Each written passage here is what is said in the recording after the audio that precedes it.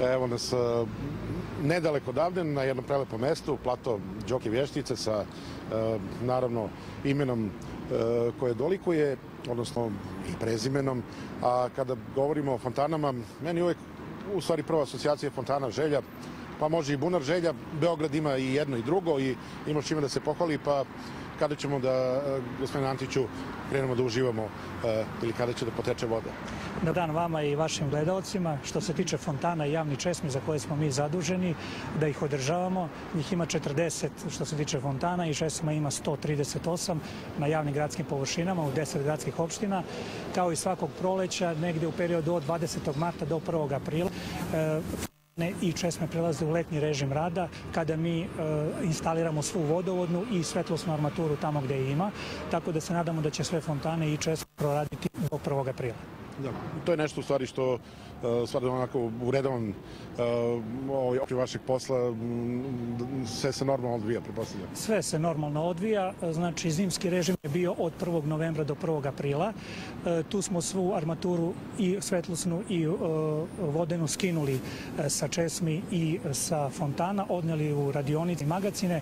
Tamo je vršena popravka ako je potrebno, eventualno će se vršiti zamena peskarenje, čišćenje, dezinfekcija i sad u ovih 10 dana prvih proleća ćemo to e, postaviti. Naravno ima nekih objekata gde moramo da vršimo izrađenu sanaciju. E, primer je i ova fontana Vrelo života, gde ćemo pored uobičajenih radova ovaj, na postavljanju armature e, vršiti i zamenu hidroizolacije koja je dotrela. Inače ova fontana mala digresija, postavljena je još 1982. godine. Zove se Vrelo života ili Aprilske česme na inicijativu e, novinara Vladimira Buca i vašeg urednika pokojnog Đoki Vještice u spomen žrtvama šestaprilskog bombardovanja 1941. godine. Ona inače ima 66 maznica koje rade sa konstantnim pritiskom i jedna je od redkih fontana koje, na koje može, imaju instalirane česme da može da se pije voda. Imamo još dve takve fontane, to je na trgu Nikole Pašića i jedna u Požeškoj ulici na Obrtu.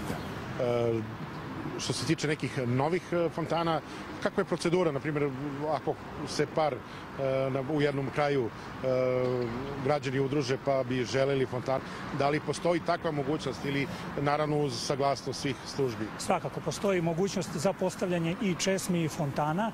Što se tiče novih fontana, svake godine dobijamo po neku novu, trenutno ih je 40 koje mi održavamo, mada grad ima ih, ima ih više, negde 45. Samo da napomenem od gradova u okruženju i glavni gradova iz bivše Jugoslavije vodovod ima, e, Beograd ima najviše e, fontana, njih znači 40 i nešto, drugi je Zagreb sa 38, a grad sa najviše fontana u Evropi je po mojim podacima Rim sa 140 objekata. Ove godine ćemo pustiti najverovatnije još jednu fontanu u rad, to će biti fontana ispred ulaza u Jugoslovensko dramsko pozorište, tako da će ona imati dve fontane, jednu na zidu pored Studenskog kulturnog centra i jednu na ulazu. Eto nas otvaraju. Hvala puno. Eto, čuli smo, dakle, i naravno, e, kada krenu fontane da rade i kada se vidi ta voda i vodoskoci, odmah je još jedan ugođaj e, onako više i, i prijatnije za oko, i, za oko i naravno uvek je to nešto što je posebno.